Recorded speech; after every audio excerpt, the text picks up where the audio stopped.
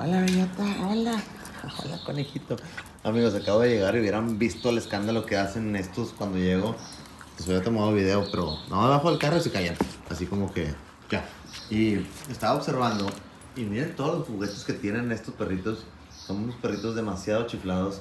Estaba viendo todos los juguetes. Los subieron aquí porque el trapero, ¿no? Pero miren, todos los están saqueados, los pobres ju- juguetes, pero ahí están. Todos, todos, todos, y acá hay más. Miren, están bien chiflados estos perritos. No se la pasan nada mal. Miren nada más. Acá tenemos más. Acá en los pies de Sofía hay más juguetes. Más juguetes. ¿De dónde sacan tantos juguetes, eh? ¿Quiénes compran tantos juguetes?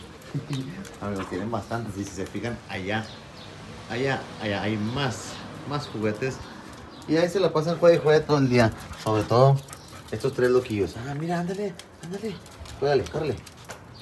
Sobre esos tres loquillos son los que más juegan. Y Yuli ya anda jugando, ¿eh? Ya anda jugando, amigos. Miren, ven, Yuli. Ven, Yuli. Bien, Yuli. Yuli. Muy bien, ¿ven? Ya, anda, ya, ya aprendió de la manada.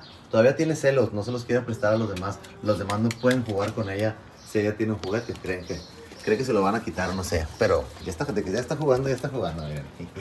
Aparte tiene una sonrisilla. Eh, qué sonrisilla. Eh, ¿Qué fue? Como de lona. Así como estoy jugando el físico en hacer esto, pero no pasa nada. Ya, ya poco a poco se va dando cuenta de dónde está mi mano.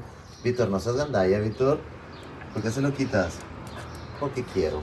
Miren qué bonita sonrisa tienen. Pero les quería mostrar todos los juguetes que tiene la manada. Son unos niños muy, muy chiflados.